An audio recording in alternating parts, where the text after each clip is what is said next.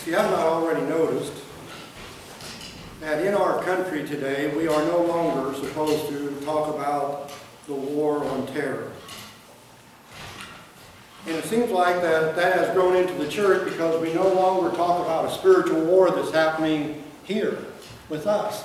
A war that has far more casualties than any war on terror could be. And, and the problem is that a lot of church members don't even realize we're in this war. That they don't understand what this is. I'm always reminded of uh, the first battle of Bull Run in the Civil War that when the Confederate Army came to, to fight, the Union Army went south to fight them, and people made picnic lunches, and they put on their very best clothes, and they went down to watch whatever they thought they were going to watch.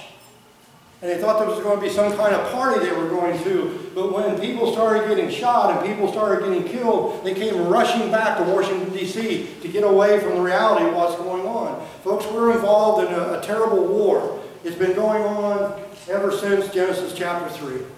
When Adam and Eve sinned and put themselves rebelling against God and, and the serpent, the devil, and he is real and he's here upon this earth and he is trying to destroy us. He can't, he can't destroy God. That's who he wants to destroy. But any of you that have children know that the best way they can get to you is how? Hurt your children. And that's what he's doing with God's children, that he is destroying them, harming them in a very great way where they will lose their eternity. The World Evangelical Encyclopedia states that since Jesus died upon the cross of Calvary, that'd be about 2,000 years ago, 43 million Christians have died because of persecution of their faith. Now what I have up here is a map and in the red, it shows you where the greatest amount of persecution is going on. And isn't it interesting that one of the greatest places here is Iraq, where we are supposed to just feed them from all of this. But can you imagine 43 million Christians, over half of those 43 million were in this last century. That what is going on in our world, if you are online and you want to check, there's a, a web page called Voice of the Martyrs and it will share with you what's going on in the world today. Now, something that is very present that we probably know about is this problem of the Coptic Christians in Egypt. Have you heard that phrase here recently? They're being extinguished in Egypt. That when the uh, government fell, now the Muslims are going after the Christians, not to convert them, destroy them. They don't want them to live. We hear all about how the Arabs don't want the Jews to be around, but the same thing is true of the Christians. That over half of the people that have died for their faith have died in this last century. Every day, over 300 people in the world are killed because of their faith. We need to become aware of what really is going on here. This war is going on in the hearts and minds of people, and, and we lose if we allow Satan to have his way with us. And when Jesus comes here in this passage in John 15, the first part of John 16, he's going to tell them what's ahead of them. Okay? And he doesn't want them to be misled. He does not want them to be deceived of what's going to happen. Now, we don't experience that here in this country yet. Yet. Okay? I don't know what the future holds. But I know that as long as we do not stand up for our faith, that we don't take this seriously where we're at in this world, that it's not going to improve. The only chance this world has is the church. That's what we're about here. That we are fighting this battle. Now, the battle, the war has already been won. Jesus did that at the cross 2,000 years ago. But Satan now is going to see how many that he can draw away how many he can cause be lost, so that he might harm God in any way that he can. So when Jesus speaks here to the people, he begins first of all by saying, don't be shielded. Face reality. You know, there's a, a great desire, and, and, and if you don't have this desire, then you are unique, but there's a great desire to be accepted by people. There's a great desire to be in the in crowd, to, to be popular. Uh, kind of like these guys were talking at the coffee shop. They're three veterans, and they were talking about uh, people in their uh, world and things like that. And one of them says, you know, that my great-grandfather, at the age of 13, was a drummer boy in the Battle of Shiloh in the Civil War. And the other two guys were, were quite impressed by that. And one said, you know, my great-grandfather was with General Custer at Little Bighorn. And boy, they were really impressed about that. And the third one said, well, my, my grandfather wasn't in the military, but if he was alive today, he'd be one of the most famous people in the world. And the guy says, why is that? He said, because he'd be 165 years old. we want to be popular. Honestly, think about it. Okay? That inside of all of us is this desire to be made known, to become popular, to do something of a, a great feat to, to accomplish, to gain the popularity. You know, I was very upset this morning that I thought you guys were clapping for me, but Emily set me straight. Jesus wants us to know, though, that if we're going to make a stand for Him, we're not going to win any popularity contest. Okay? That people, oh, they're, they're okay. I got a lot of friends that I talk to that are not Christians. And as long as we just talk about whatever, it's fine. But when Joe goes to the topic of Jesus all at once, I'm not nearly the Greek guy that they thought I was. That they don't want to hear this, that they, they have their own ideas of what they want to do with their life. But we want to do that. Okay? And what is happening then in our society, that it is pressuring us to conform. The Apostle Paul knew what he was talking in Romans 12. Be, don't be conformed to this world, but be transformed by the renewing of your mind.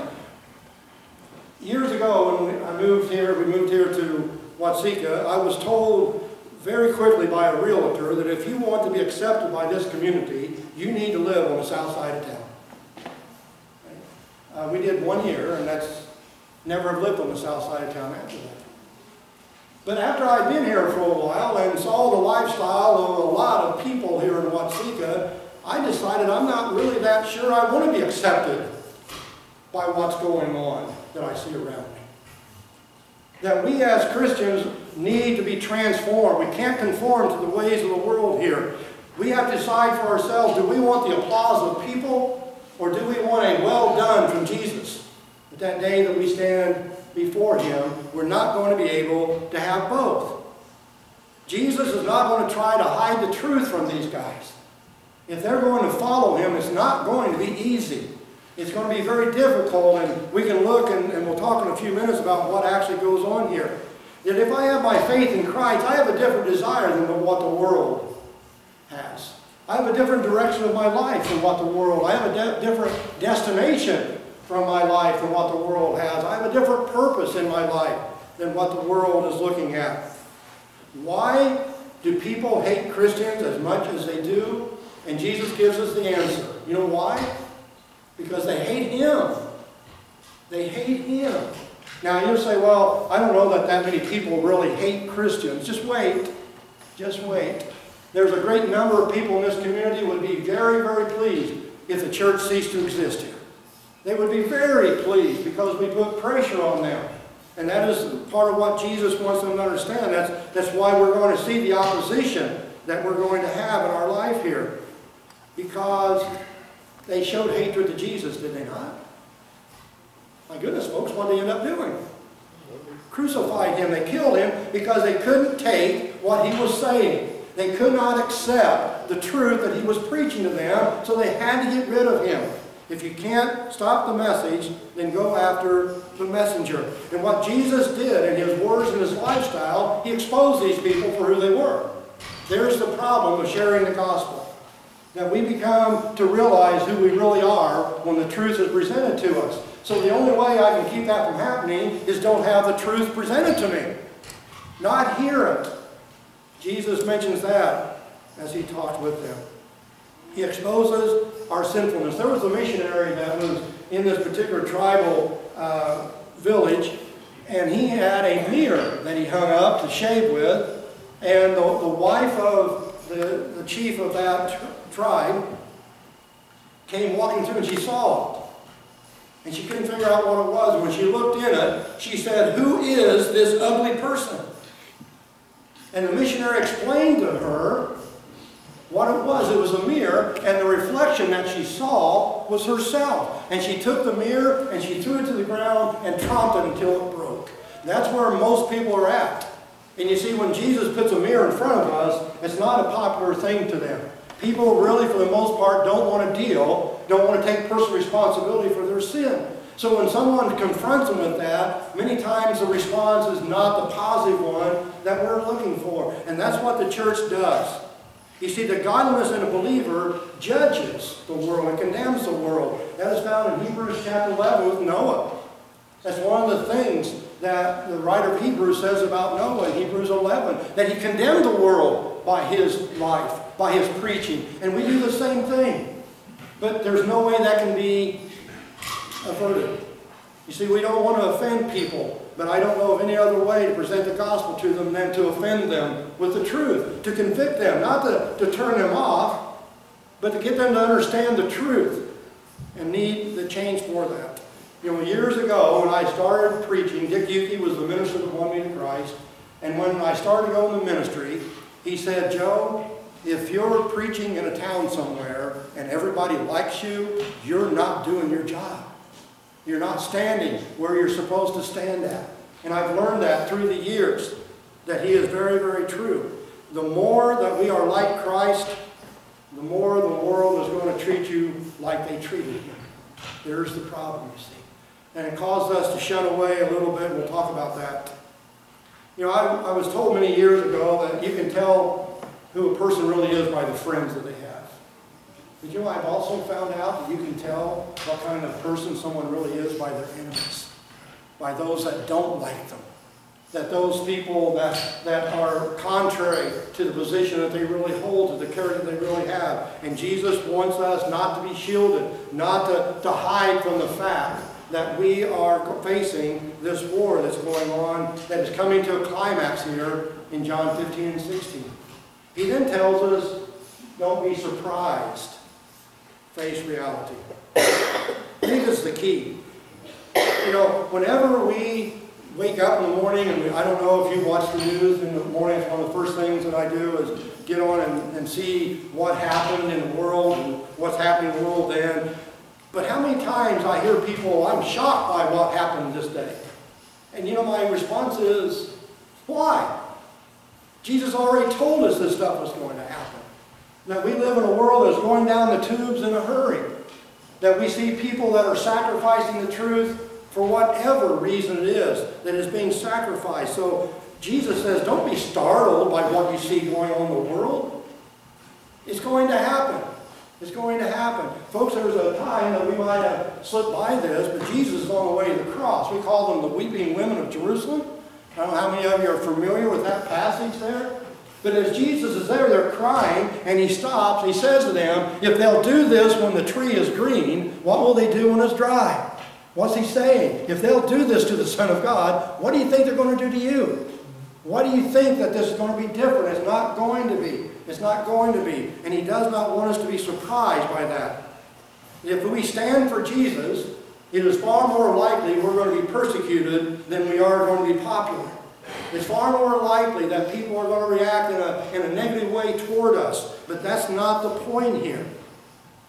See, the point is that I believe in Jesus, and I think eternity is great, and I believe that I can live with Him forever if I stand in my faith. And that's far more important to me than being friendly with people or for everybody to like me because I don't take a stand on anything. Charlie Brown. Linus are talking. And Charlie Brown says something, he wants to do this particular thing, and Linus says, well, you can't do that, Charlie Brown, you're too wishy-washy. And Charlie says, well, I could be wishy one day and washy the next. Don't be surprised when the world opposes you if you're standing for your faith. They did it to Jesus. You know, we look back in John 13, and Jesus says, the student is not above his master. Well, we thought that just meant about washing feet. But there's all the same conversation here.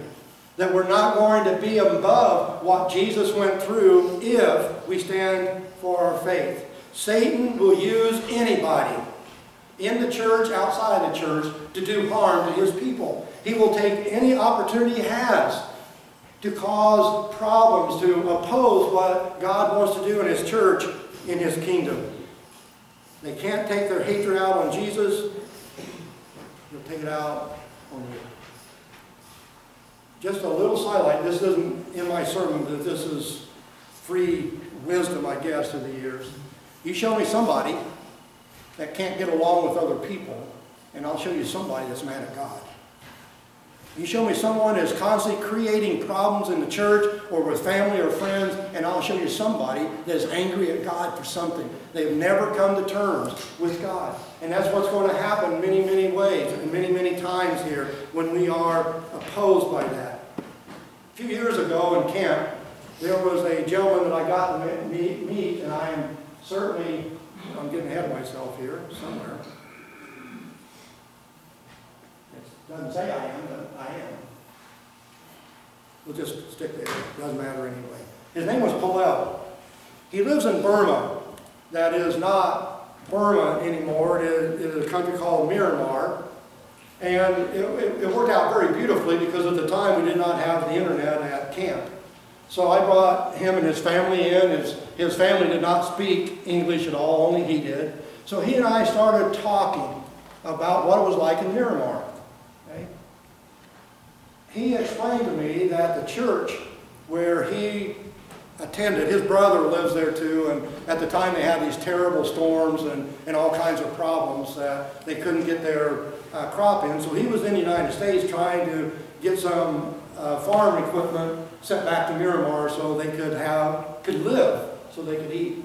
But in the process, he said that one of the things they always had to watch were these anti-Christian groups that would come through in the church where he attended, or just outside of, of town that he lived in, these people came in and killed all the elders of the church. Only because, why? They were Christians. Okay? They took the minister and buried him alive because he was a Christian. No other reason why. We see we can't conceive of that, can we? Can't conceive of that. They had two leaders in another church folks, that these men came and had shot and killed them and threw them in the river. They didn't find them for months. They had no idea where they're at. They were killed because they were Christians. That's all. There was nothing else involved in this at all. And Paleo will tell me about all these stories. You know, Ken Henderson's a very good friend of mine, and he and Jim Small and Neil Ermore went to India here a few years ago and spent 10 days on a mission trip there. And after they left, the ministers that were helping them were beaten within an inch of their life. Why? They were helping the Christians. See, we can't conceive of that, can we?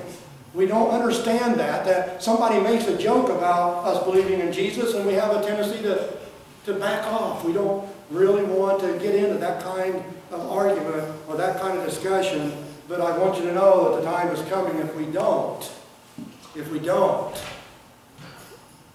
Most of the apostles that Jesus is speaking of here will die violent deaths because of faith in Jesus. Only one that I know of that did not, that was the Apostle John, who died of old age. But even he was dipped in boiling oil at one time but survived that kind of torture. So when Jesus speaks to these people, they're going to experience this in a very, very real way. That we have to follow Jesus to experience, endure the conflict, that is where this is supposed to be, Hebrews 11, 32 through 40. You read that sometimes as the writer of Hebrews discusses and writes down for us what some of these people went through. Being cut, sawed in half, being boiled, being killed in, in a lot of horrible way, not just to die, but to torture them. But they remained faithful to God in the midst of this. In fact, Paul will write to Timothy, anyone who lives a godly life in Christ Jesus will be persecuted. So if I'm not experiencing persecution in my life, what does that mean about my faith? Hmm. Don't be silenced by this. Don't be shielded. Don't be surprised. Don't be silenced. We cannot allow the opposition of people to keep us from speaking the truth. In fact, the church is supposed to be on the offensive. Matthew chapter 28, what we know is the Great Commission. The first word that Jesus says recorded for us in the Great Commission is what? Go. In fact, if you want to get technical, it's in a passive voice there, folks. He doesn't say go, he says as you are going. He assumes that you're going to go, and here's what you need to be doing. See, we're on the defensive too much. We're always backed off and we're always having to respond to the world that's around us. That is not what Jesus intended for his church. Matthew chapter 16, he says, Upon this rock I will build my church, and the gates of hell will not prevail against it. It's the attack of the church upon the gates of hell. They're not going to be able to stop the church going forward when we decide to be the church. We need to continue to speak. It is Jesus in Matthew chapter 10, and I believe it's also in Mark.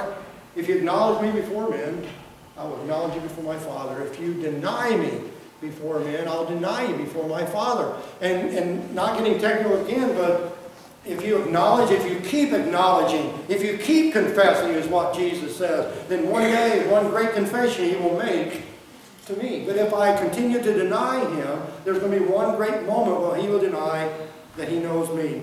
It is the Spirit that Jesus speaks of here that strengthens us to be able to witness to this world around us.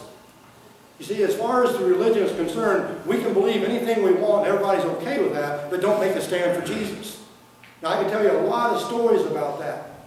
Okay? There was a, uh, school district in one of the Dakotas, I'm not going to get any more specific than that, that in this particular class, they allowed every religious group to come in and teach these fifth grade kids for two weeks, except the Christians can't. They allow every other religious group in the world to state their case before them, but the Christians were not allowed to come in to the school. Anybody watch Fox News this morning? Have you heard the news out of Kountze, Texas? This is a neat story. Some cheerleaders, in order to inspire the football team to play well, are making banners with scripture written on them. And of course, what happened? Well, somebody had to complain. I think it was Chuck Walton. Called Walton. No, no, it was Judy. Complained. So they went to the cheerleader and said, nope, can't do it anymore. They went to court. The judge says, oh yes you can, it's free speech. You can speak, and now they're in this big battle, all of that. But this town is a town of 2,100 people. I wondered how they get away with this because there's a local preacher that does a devotion to the team before every game. But then I thought, oh, it's Texas. Mm-hmm. Nobody's going to mess with Texas, okay? But they, these cheerleaders now are in the middle of this great, great problem, trying to figure this out. They're not backing down. They're going to take this all the way, and they believe they can win the case. But one of the mothers opened up a Facebook account. And in two days, you know how many people are on their Facebook account supporting what they're doing? Anybody want to take a guess? 41,000 people have responded supporting these girls for what they're doing. Now, here's what I'm getting at is that we have an opportunity to stand for Christ. And we don't do it because, we'll talk about that in a moment, I fear and, and other things get into play. But you know, more times than not, what's going to happen if you make a stand for Jesus? This.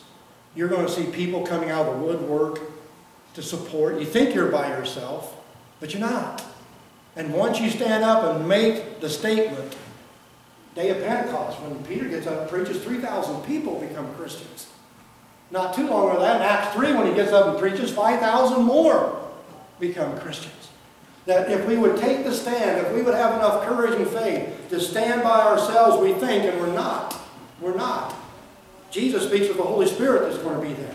Jesus speaks of, of all the support that he's going to give us. He told us, I'm not going to leave you by yourselves. So these people have 41,000 supporters on Facebook, all for what they do at this little town of 2,100 people.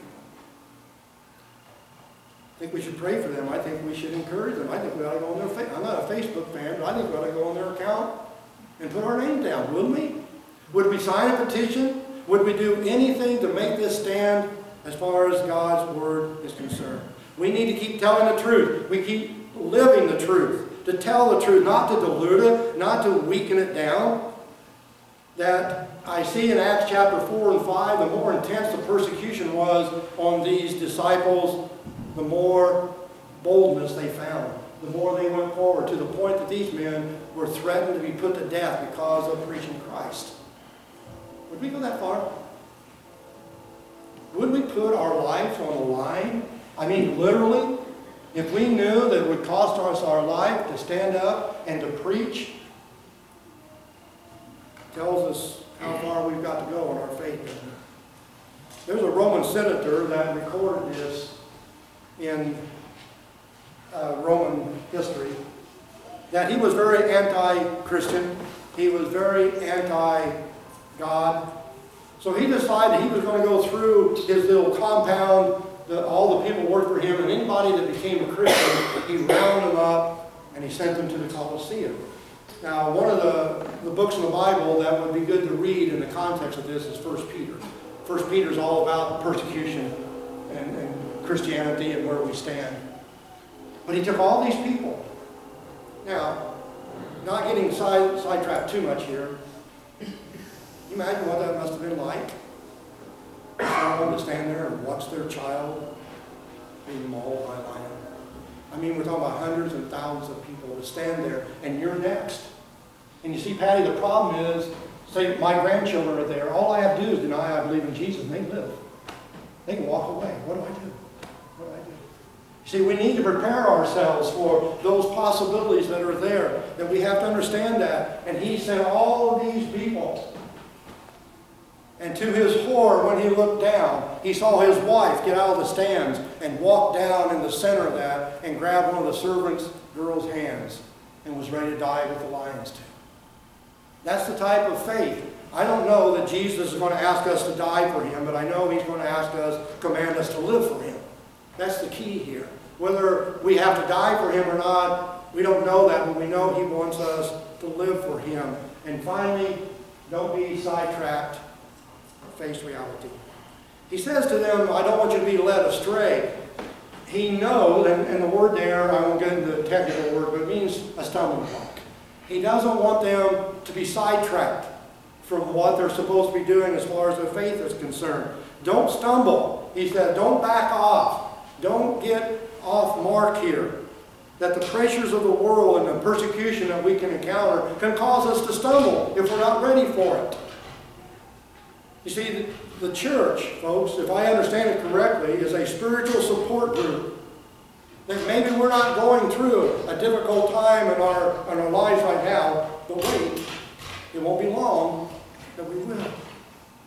And there may, may be a time, Rich Penny, where you need my help, but there's a time I'm going to need yours. And that's what this is all about. That we as Christians come together because there is strength. There is strength in numbers, and that's what the church is about. Two reasons, Jesus says, that people will persecute us. One is resentment, the other one is ignorance. They don't know. They don't understand what is going on as Jesus tells us about it. Anybody have any idea who this is? John the Baptist. Doesn't look like him, Joe? John the Baptist, what did he go through? Because he stood up and told Herod the truth he will be beheaded. He could have backed off. He could have just let it go, but he chose not to because he had to be true to God. His ministry was to prepare the way for Jesus to come. And he couldn't be sidetracked by personal concerns. He needed to go forward in this. Jesus went through a lot of difficult times, but he kept his focus on God's will. And we must not allow the, world to pull us down. We can't allow ourselves to compromise. We can't allow to be try to blend into the world in which we live. Ephesians chapter 6, that's Stephen. I forgot Stephen.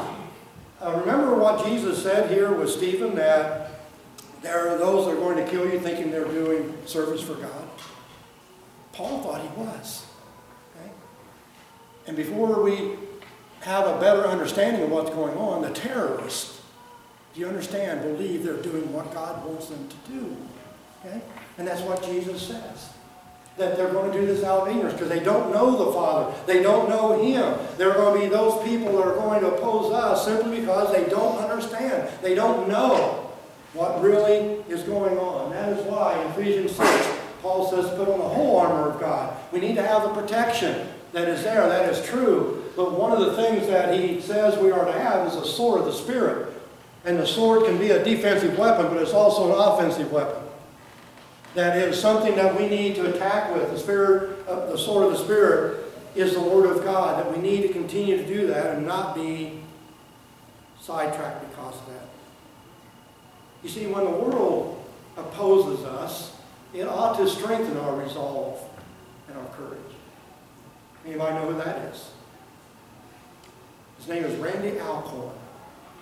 And I'm not promoting him, but when it comes to heaven, he wrote a book called Heaven, has one of the better biblically based books about heaven that I've read. He was a minister in a, a community that he, he, large church, a large church. And he came to a, a point where there was this young lady that was not married, no father, no uh, father of the baby around. She was pregnant. He brought her into his home and let her stay there until she gave birth to the baby. And in the process of time, he got involved in a situation against an, abortion clinic. And he uh, demonstrated against that clinic, and he got arrested. He was sent to jail. The clinic filed a lawsuit against him and the group that he was with, and they won. And they were awarded this fantastic settlement and he stood up in front of the court and said to the judge, I'll pay a fine, but these people are not getting one cent of my money. So in order to secure that, he quit preaching. He went to a job that made minimum wage because then he didn't have to pay these people any money. If he's complaining about what's happened to him, his answer is no, I see God working in every facet of this. I see God working. He was willing to give up his way of life, all the money that he was making, all the opportunities he had, because of his stand for his faith. what was Judas's price to forsake Jesus? Anybody? Money. Money. Probably more popular problem than we would like to believe. What was Peter's? Price for forsaking Jesus. An idea? But why? Fear. Fear. Absolutely. Folks, nine times out of ten, when we fail to speak up when we should, and that pretty much the motive is fear, that we're afraid of what the response might be. Well, the question is, what's my price? What does it have to get to before I will stop? When, what has to happen so that I will refuse to stand for Jesus? There comes a time, rapidly I believe, when we as Christians are going to decide where we stand at. Are we with him or are we without him? Are we going to make that decision once and for all that we are with him or are we without him? One little quick story, and we'll run through this one quickly, but there was a man named Polycarp. He was a, a disciple of the Apostle John. He, he preached in a city called Smyrna. And he was not popular with some of the ungodly people, and they wanted him dead. So they went to arrest him. And when they came to arrest him, the soldiers came, he made them sit down and eat a meal with him. He, he refused to let them come to his home unless he showed some kind of hospitality. So these very men that are going to lead him to his death, he makes them sit down and eat. And then he asked him if he could have an hour to pray. And when that time is over, in fact, part of the story says that the soldiers end up letting him have two hours. And they couldn't understand why they were here, here to kill this man. That he was one of the, the neatest guys they'd ever met. Why would we need to kill him? So they took him back to the king. And he said to Polycarp, curse God, and I will let you go. And he makes one of the greatest statements. His statement is this, For 86 years I have served him, and he has never done me wrong, how then can I blaspheme my King who has saved me? Has Jesus ever done you wrong? How can we possibly deny him? There are people that need the message that we have, people that want the message that we have. There are those that don't, and that's the way it is. But the response is not the determining factor of whether I share the gospel message or not. I'm commanded by Jesus. You know, as Randy was speaking, he talked about our responsibility, and it's absolutely true. But folks, one of the things we've got to keep in mind is our privilege. We get to speak the truth of God to the world that needs it so badly, so badly. So we cannot get off track here. We have to remain faithful to what God has for us. Our hymn of invitation and dedication, the song is, We Will Glorify. And that is what God wants of us to do, is to glorify Him in our lives, to glorify Him so that those around us will know that we are Christians. Let's stand together as we sing together.